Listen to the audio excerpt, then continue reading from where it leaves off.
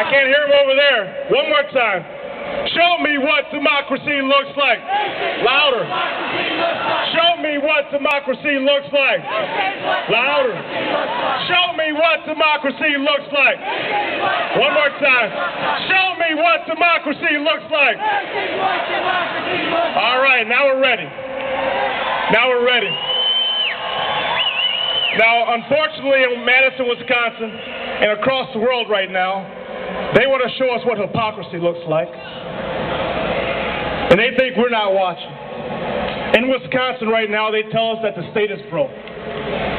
They tell us the state is broke, we have no money. But I'm going to tell you what we're doing right now in Wisconsin to show everybody that the state is broke. We have tax cuts. Tax cuts for the top 1% wealthy in the state of Wisconsin. That's right. Hold on now. Hold on now. Let me finish. But the state is broke.